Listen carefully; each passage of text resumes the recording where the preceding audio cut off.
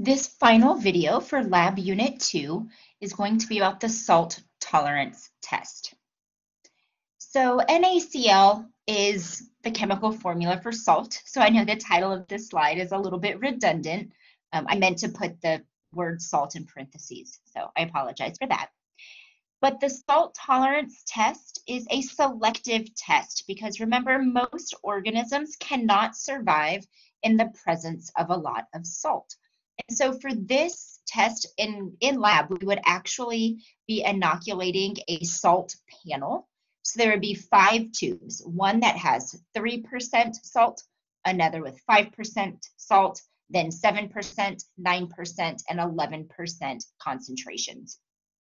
And you would inoculate the same organism into all of the tubes to see what amount of salt it can tolerate. Now, of the streptococci, most of them can tolerate about 3% salt. So you would observe turbidity or growth in the 3% tube. But after that, most of the streptococci cannot grow. However, Enterococcus faecalis is a streptococci, but it doesn't belong to the genus Streptococcus. And that's because it's a little bit different than those organisms. And one way that it is different is that it can grow in up to 7% salt. So that's going to be a big difference between Enterococcus and Streptococcus species. Now, if you think back, which genus of organisms loves salt? That would be our Staphylococcus organisms. So those two organisms can grow in all concentrations of salt for this lab. Okay, so let's go ahead and take a look at some of those results. But remember, what we're looking for is growth or turbidity. But you have to remember that some organisms display a sediment growth pattern in a broth, which means they grow at the bottom of the tube. So you always want to make sure that you check the bottom of the tube or even give the tubes a gentle shake to make sure that you're actually observing no growth if you were to see a tube on the right. Okay. So I, I may have worded that a little wonky. If you look at this picture and you look at the tube on the right, it looks very clear, right? No growth. But you always want to make sure to give the tube a gentle shake or look at the bottom to make sure that it actually is clear. That's what I was trying to say. Okay, so let's take a look at some results.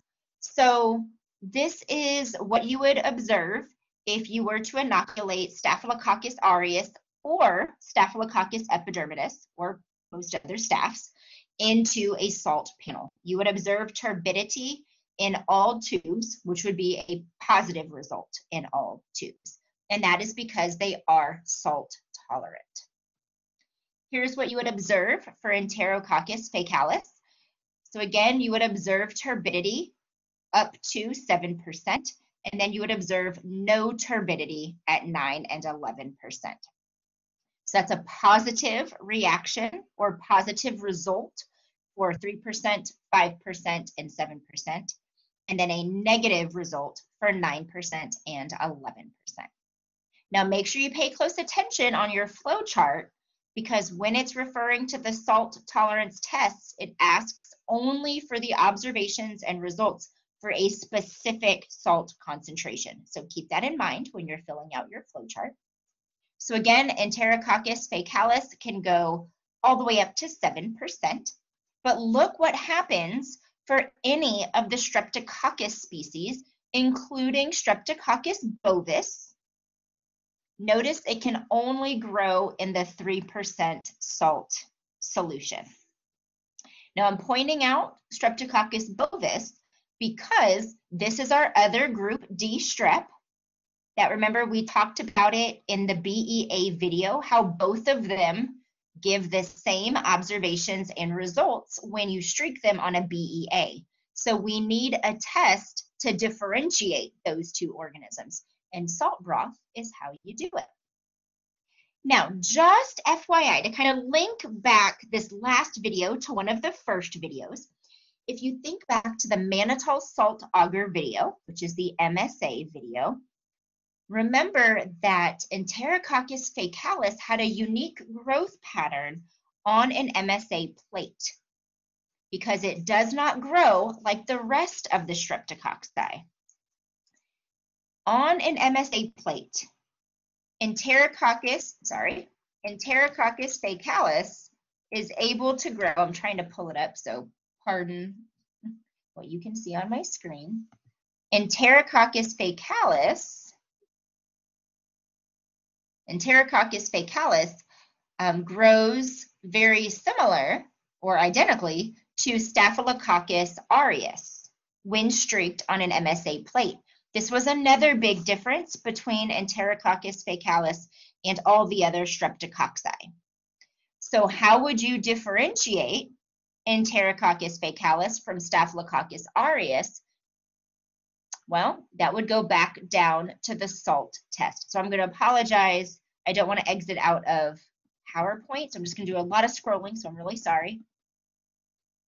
So remember, they grew the same on MSA. So how could you differentiate Enterococcus and Staphylococcus aureus? With the salt broth. Because Enterococcus faecalis can only grow up to 7%, whereas Staphylococcus aureus can grow all the way through 11%. Now, this information is not going to go onto your flow chart, okay, because remember on our flow chart, we separated out the staphs and the streps right off the bat. But it's good to know these similarities between the Enterococcus faecalis and Staphylococcus aureus for the lab exam and lab quizzes. Okay? Because Enterococcus faecalis doesn't behave like all of the other streptococci when it comes to salt tolerance. It's a little bit more tolerant than the other streps. All right, y'all, that is the end of this video and of lab unit two. As always, let me know if you have any questions.